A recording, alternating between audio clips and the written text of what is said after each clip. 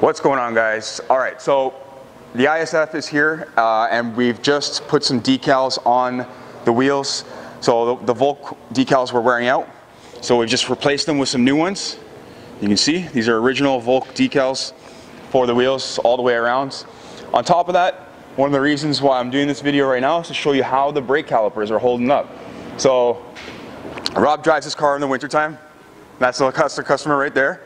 And uh, you know, he just came by for these decals and he drives it all winter. We just washed it. It was filthy, so you should have seen it. It's still a little bit dirty. It's not perfect.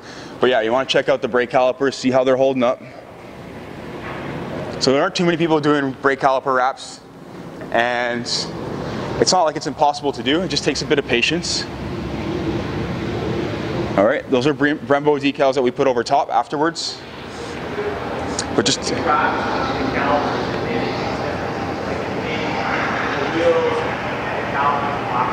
Yeah. Yeah, so if, if these brakes are actual Brembos, and Rob was just saying, in case you couldn't hear him because I got the mic on, but he said it's made a huge difference in contrast when we wrap the brakes in red as opposed to just having them black. As you can see, the car's, you know, the car's white with black wheels. It's nice to have red brake calipers to pop a little bit. And since they're Brembos, they look really nice. So that's why we stuck the decals back on there because they are actually Brembos. They're not fake Brembos, they're not something else, they are actually Brembos. So I just want to show you guys what that was looking like after we did this wrap in October, I believe. So as far as the brake calipers go, I did have the one repair on the other side. That's holding up fine.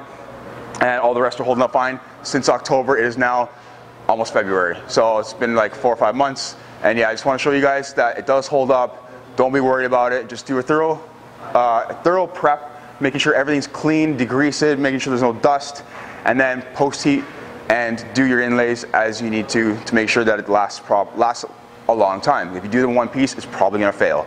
All right guys, hope you enjoyed the video. If you wanna see more, hit the subscribe button. Thanks for watching, take care.